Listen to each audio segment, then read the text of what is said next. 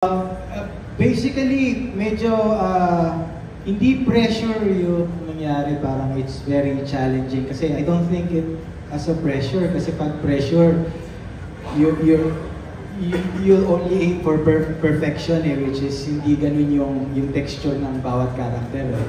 So it's a challenge for me kasi nga wala pa akong experience. Although, uh, nakwento ko yata sa set na nung binatilyo po ako, Iwanan kasi ako ng bata, ng mga tsuhin ko, tsaka mga pinsan ko.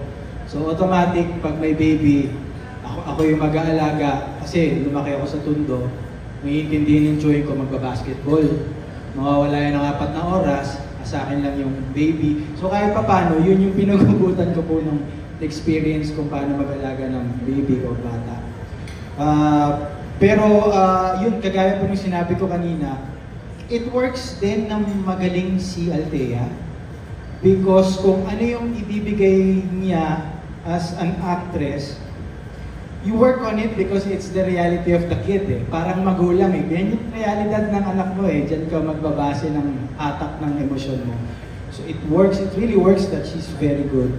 And I'm thankful na siya rin yung nakasama ko dito sa pelikulang to. Nakatulong para akong ano, Tito Papa. First time you direct, you direct all of them. At kayo rin yata, first time to work with direct. So how was it like working with each other? Especially sa iyo muna direct. Mm, lahat sila magaling eh. Wala akong napakaswerte ng director na magkaroon ng artista nagbibigay ng surprise sa set. Kasi syempre as director, na-visualize ko na kung paano siya. Pero pag take na, pag may binigay na iba yung artista, sobra siyang malaking tulong sa director, nakaka-impress. I mean, Danita is very good, Gerald, wala akong masabi, Altea, Raisa, sila MC, sila Nico.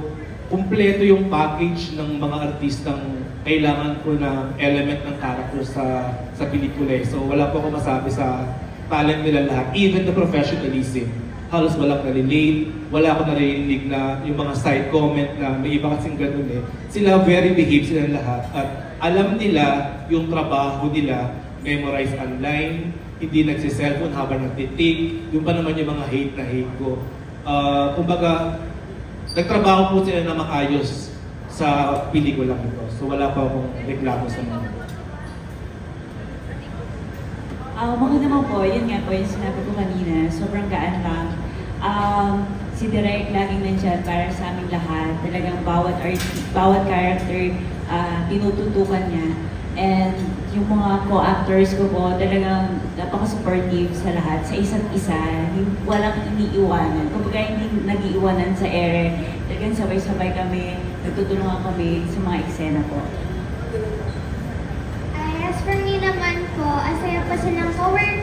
Kasi po, as sabi po ni Tita Raisa, kapag po may nawawala po, nagtutulungan po kami. Lalo na po si Direk kapag po uh, mag-describe na po siya ng eksena po na gagawin namin. Talagang yung explain po, yung pag-explain niya po talagang detail the detail po. Kaya alam na alam po namin yung gagawin with the help of these wonderful casts po, lalo na po to. May pamasko ka na sa akin. Kanina ka pa. Ayun, ah, uh, ako muna. Ah, napaka-saya at napaka-blessed na magkaroon ng isang project na pagbibidahan mo na ang kasama mo mahuhusay at disiplinado. Unang-una sa lahat, gusto natin pag nagtrabaho tayo, mabilis ang trabaho. Tapos agad. Pangalawa, sana mabilis yung trabaho pero mahusay yung ginawang trabaho.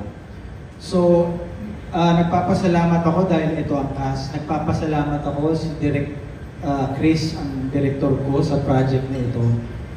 Dahil naniniwala ako na pag binigyan tayo ng magandang pagkakataon, ang trabaho natin ay gawin ng tama yung trabaho. So, I think I speak for each and everyone na uh, binigay namin kung ano yung, ibahin ko na kasi usually, binigay po namin yung best, binigay po namin yung tama para sa project na to. Yun po. Ako naman po, medyo napatagal ho ako sa pagpapahinga sa acting. So, akala ko mga pa ako ng matagal, pero pagdating ko sa set, ah, hindi ako nahirapan dahil sa guidance ni Direk Chris at naitawid ko lahat ng eksena dahil sa kanya. And also, si Gerald, si Atea, they're very giving sa lahat ng eksena, kaya naman hindi ako nahirapan. Mm. Thank you.